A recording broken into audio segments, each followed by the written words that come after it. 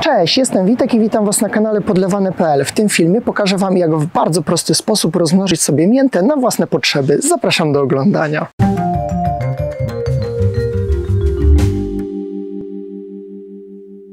Miętę możemy rozmnażać przez podział, jednak nie każdy posiada starszą sadzonkę, którą może podzielić. Najbardziej dostępne są sadzonki kupowane w supermarketach, jednak one zwykle są, bym powiedział, jednorazowe i zazwyczaj nie ukorzenią nam się w tych doniczkach, w których je kupujemy. Jednak ja pokażę Wam, jak rozmnożyć nawet taką miętę kupioną w supermarkecie. Słuchajcie, sposób jest banalnie prosty. Wystarczy ściąć taką miętę, a pędy włożyć do kubeczka z wodą. I już po dwóch tygodniach możemy zobaczyć, że pędy te puściły nowe korzonki. Teraz wystarczy tylko wsadzić je do doniczek i czekać, aż się ukorzenią. Wyjmujemy sobie te nowo powstałe roślinki z wody.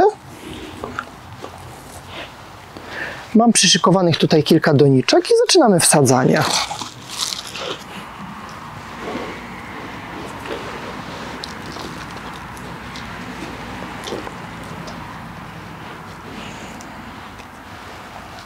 Sadząc tą miętę, najlepiej zastosować podłoże lekko kwaśne, to jest zwykła ziemia ogrodowa o pH od 5,5 do 6,5. Na pewno kupicie to w każdym sklepie ogrodniczym.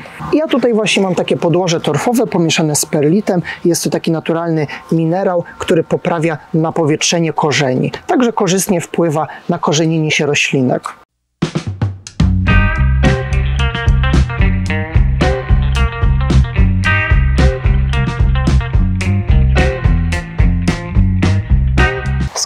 Roślinki są wsadzone. Spójrzcie, ile udało mi się ich rozmnożyć.